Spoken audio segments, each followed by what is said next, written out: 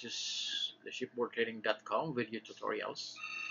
Uh, in this tutorial, we will be discussing the under keel clearance. So we title it to Understanding Under Keel Clearance. The under keel clearance is the distance of your ship's keel from the bottom of the sea. In the image, this is the here, bottom of the sea to the ship's keel. But before we continue, let's study what are the factors that involves in determining the under keel clearance. So there are four factors that is involved in determining under keel clearance. The first factor is the sea bottom. The sea bottom that is directly below the location of your ship. The next one is the chart datum.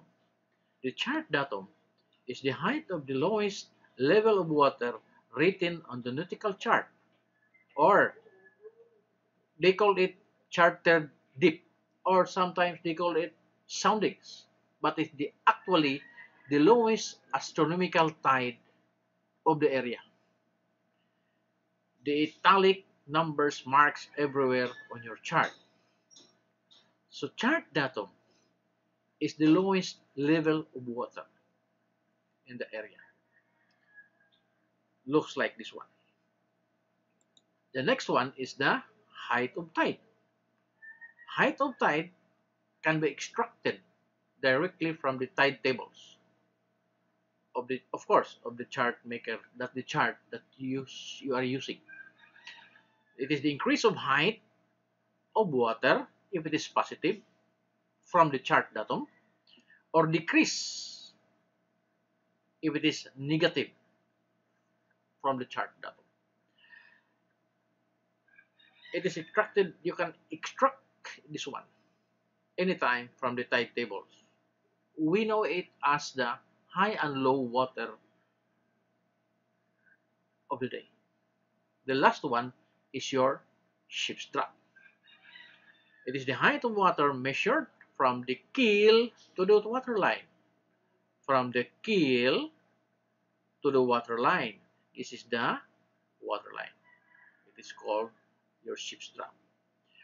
Now, we will combine the chart datum, the height of tide, and later we will put your ship with your ship's draft until the water line. And you can find out what is this under keel clearance. The chart datum, the height of tide and your ship's keel or draft until the water line.